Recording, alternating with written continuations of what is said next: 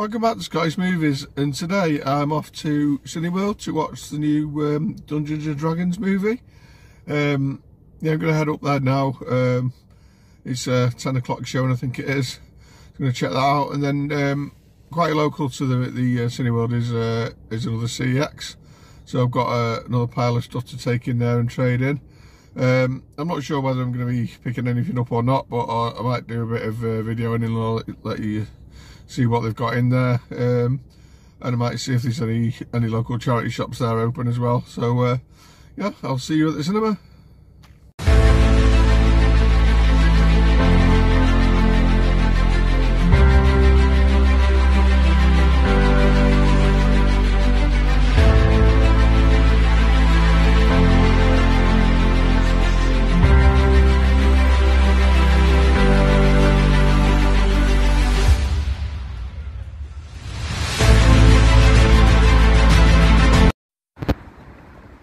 Okay, so we're going into Cineworld now.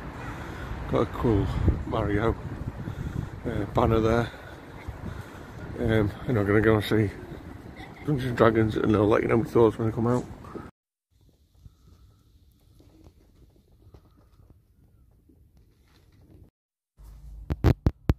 Okay, so yeah, I'm out of Cineworld. Uh, I've just watched uh, Dungeons and Dragons uh, Honor Amongst Thieves.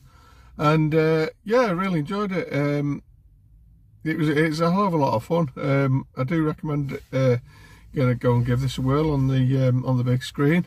Obviously stars uh, Chris Pine, uh, Michelle Rodriguez. Uh, I think it's Justice Smith, the guy from um, Detective Pikachu, uh, and a couple of others. And you've got uh, Hugh Grant as kind of like the villain. Um, and yeah, it was a hell of a lot of fun.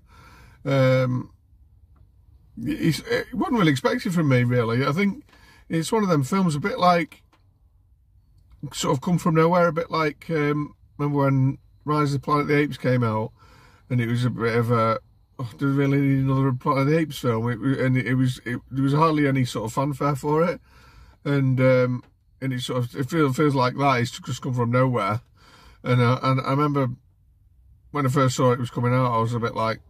Yeah, really, Dungeons and Dragons, it'd probably be rubbish. And to be fair, it has been getting rave reviews, and I can see why, because it's just a hell of a lot of fun great sort of adventure movie. And um, yeah, and for me, oh, there was uh, there's an awesome sort of Easter egg in there as well, which I'm not going to say what it was, but um, yeah, that I thought was brilliant.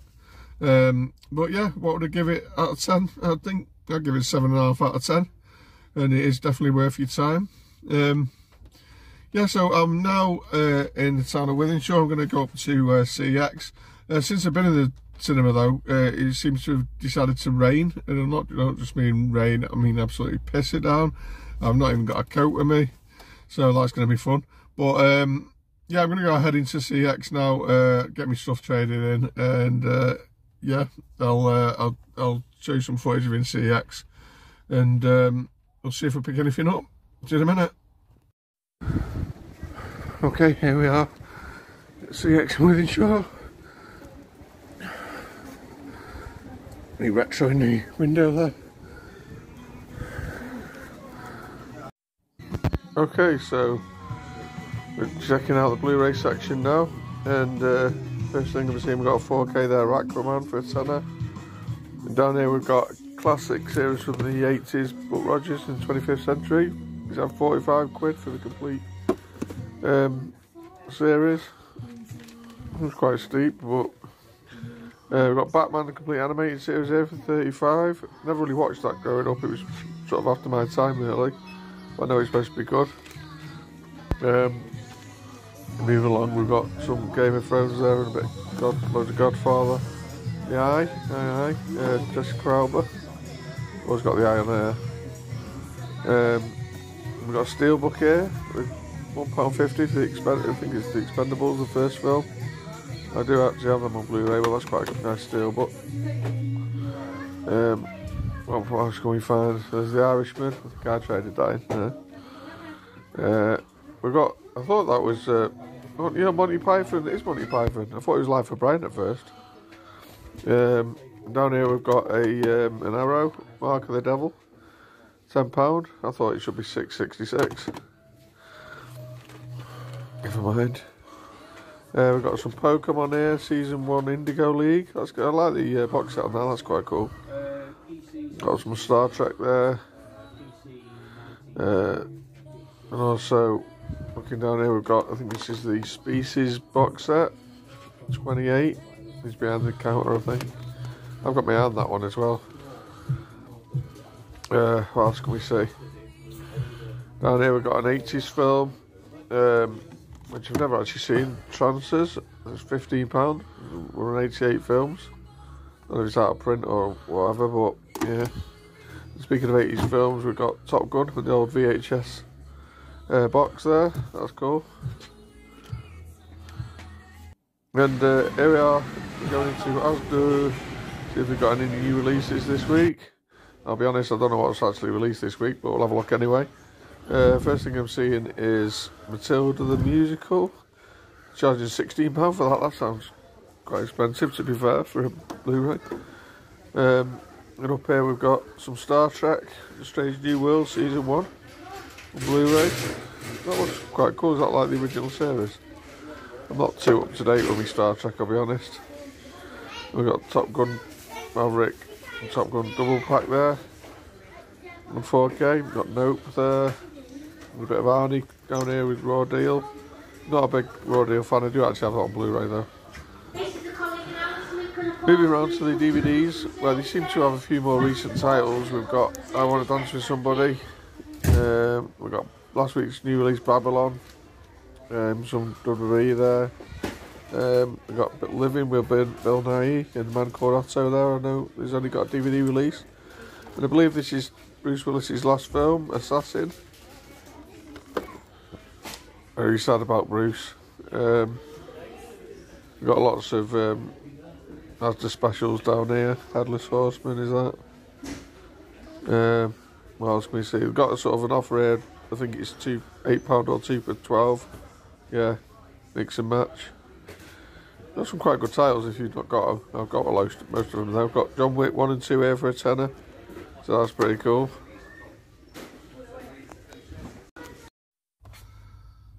Okay, and we're back in the car again. Um, so I've been CEX.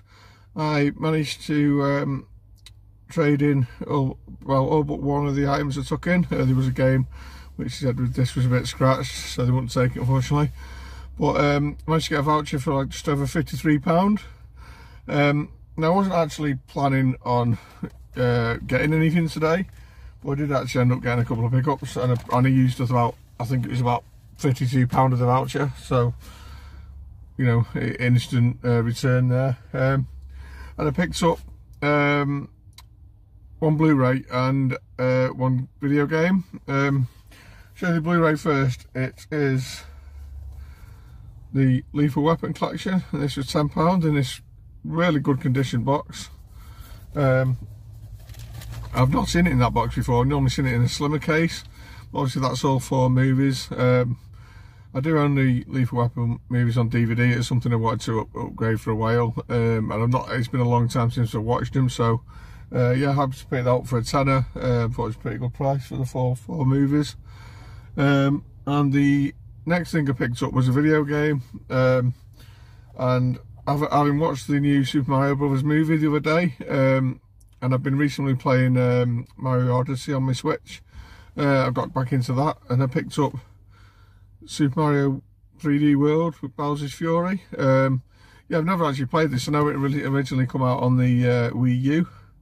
Um, well, I never had a Wii U. That sort of passed me by. Um, and uh, yeah, I I'd I fancied uh, checking it out. I know there's a couple of scenes in the uh, in the movie um, where he, I think he turns into a cat at one point. Uh, spoiler alert. Um, and I think that's something that's in this game, and possibly a, is it a raccoon as well. I don't know, but it just looks a lot of fun. I watched, watched the trailer for it on the Switch, and uh, it just looks a lot of fun. As I say, I'm a bit into my Mario at the moment, so I thought I'd, uh, I'd grab that. And yeah, that is it for the pickups, just the, just the two today. But it was all about getting my stuff traded in really, which I've instantly spent the voucher, but never mind. I've still got more vouchers and I've still got a pile of stuff uh, to trade in. Um, if you remember the free job lot I got a while back, uh, I've got a big crates full of stuff still there to trade in. He's just doing it in dribs and drabs. And when I get a chance to pop to CEX, I'll, I'll take a, a bag full and uh, and trade them in. Um, and I'll say that's it. I did go into Asda as well, uh, see what new releases was out. I, I, don't know if there was any. I don't know if they put them out. If there was any this week, I'm not too sure. I don't know what was coming out this week. Uh, not really prepared, I know. But um, yeah, um, usual stuff. It's quite a small section in that in that Asda. Um, that that series, uh, Star Trek, looks looks pretty good. Strange New Worlds. It was is it based on like a bit similar to the original series? I don't know. I don't really know anything about it. Um, when it comes to Star Trek, I'm a bit I don't know hit and miss with it. I've seen not seen all the original movies. I've seen I used to watch bits of Next Generation back in the day. Uh, I've never seen it all. I'm not seeing any real Deep Space Nine, Voyager, or any of that.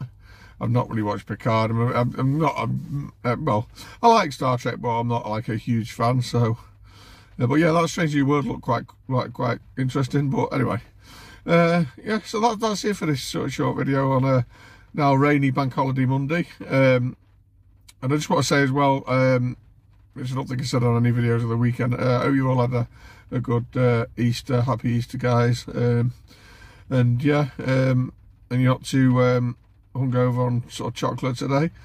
But um, yeah, so that's it for this video. Uh, don't forget to like and share and subscribe.